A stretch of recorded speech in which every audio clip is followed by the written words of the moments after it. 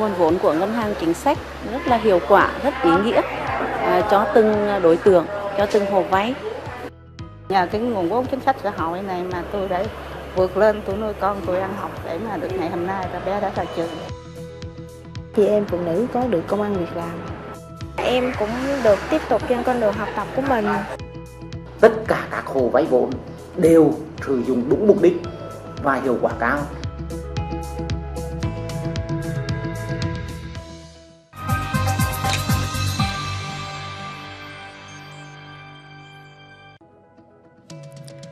Để hiện thực hóa mục tiêu giảm nghèo bền vững, các cấp chính quyền, ngành chức năng triển khai nhiều giải pháp và hỗ trợ vốn cho hộ nghèo, tạo việc làm, tạo thu nhập. Và trong các nguồn vốn hỗ trợ hộ nghèo, vốn từ Ngân hàng Chính sách Xã hội là một trụ cột quan trọng.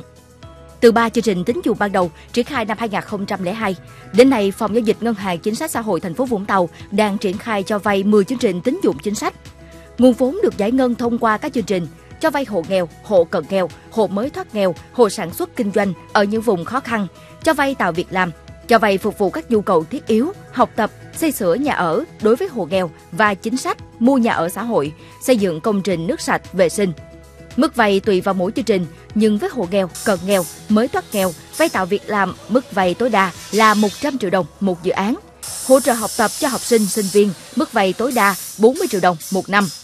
Từ ngày 2 tháng 9 năm 2024, thực hiện chương trình nước sạch và vệ sinh môi trường nông thôn, mức vay tối đa một khách hàng là 25 triệu đồng một loại công trình. Hiện tại là tôi đang ờ, mở một cửa hàng tự chọn. Thì hiện tại là cái nguồn vốn thì nó cũng đang hơi bị thiếu. Thì có tiếp cận ở phường xã thì được thông qua hội phụ nữ. Thì uh, các cô có giới thiệu cho là cho cái nguồn vốn này vay tại phường thì làm thủ tục rất là đơn giản nhanh gọn lẹ. Nhờ có cái nguồn vốn này cho nên à, các gia đình hội viên cựu chiến binh làm ăn nó à, khấm khá hơn à, đỡ hơn vượt qua được cái khó khăn và nhiều hộ trở lên khá. Cũng chính từ những cái đồng vốn này có cái sự gắn kết cái phong trào hoạt động của cựu chiến binh nó được đẩy mạnh lên. Và trong đó tất cả từ trước đến nay hơn 10 năm qua là đối với cựu chiến binh thành phố Vũng Tàu tất cả các hồ vay vốn đều sử dụng đúng mục đích và hiệu quả cao. Để nguồn vốn ưu đãi chuyển đến đúng đối tượng thụ hưởng, phát huy hiệu quả, Phòng giao dịch Ngân hàng Chính sách Xã hội thành phố Vũng Tàu phối hợp chặt chẽ với bốn tổ chức chính trị xã hội, Hội Liên hiệp Phụ nữ, Đoàn Thanh niên, Hội Cựu chiến binh, Hội Nông dân và mạng lưới tổ tiết kiệm và vay vốn ở cơ sở theo phương thức ủy thác.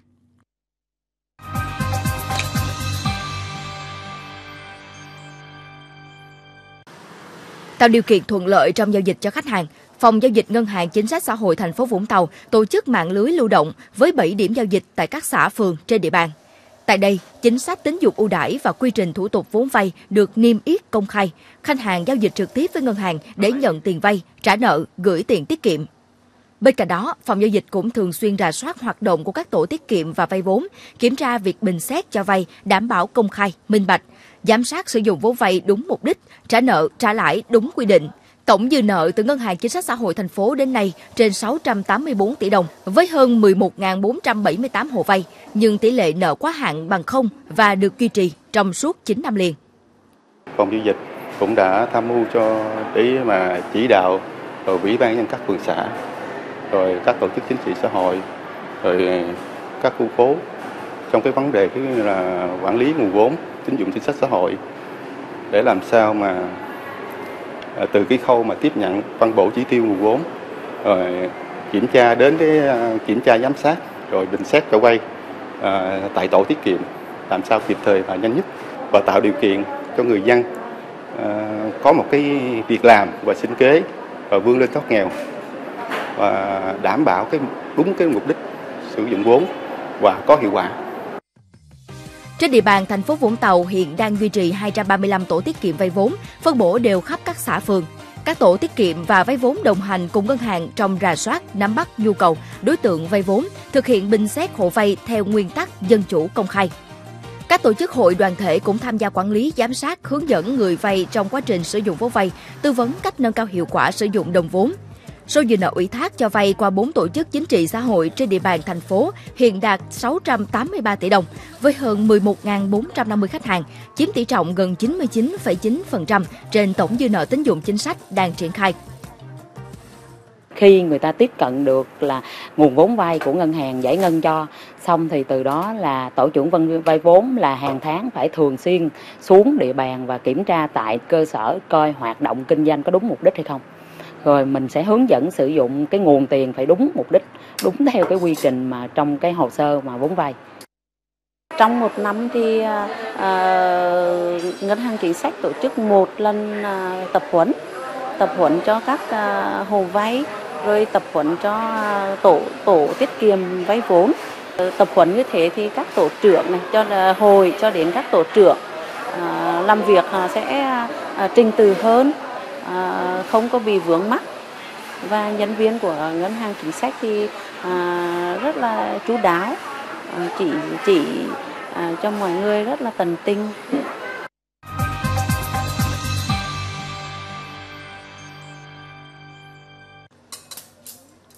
không có vốn, không có công việc ổn định, lại phải nuôi hai con ăn học. Nên năm 2021, gia đình anh Nguyễn Vũ, phường 11, từng là hộ nghèo của địa phương.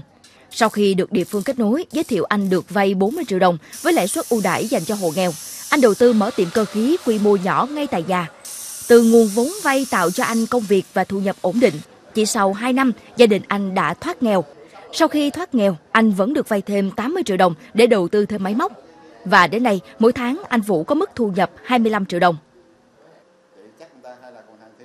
Cái lãi suất thì ờ, của ngân hàng thì nó cũng khá thấp. Đó, thì hàng năm nó cũng khá thấp thì nhờ nguồn vốn đó thì bà con ờ, thì nhờ vậy mới ờ, ví dụ như bà con buôn bán nè đó rồi duy trì cuộc sống thì nó đẻ ra được cái đồng tiền kia thì nó cũng vươn lên thoát nghèo như tôi đó tôi cũng nghèo thì năm nay tôi được đỡ hơn là nhưng mà thoát nghèo đó sau thoát nghèo thì mình cũng được vay vốn và và được và được cái nguồn vốn đó thì mình cũng làm ăn được nói chung cũng khá giả hơn. Chồng bị bệnh phải nằm một chỗ, chị Nguyễn Thị Lệ Sương một mình phải bươn chải đủ các công việc để nuôi hai con ăn học, nên gia đình từng là hộ nghèo 8 năm.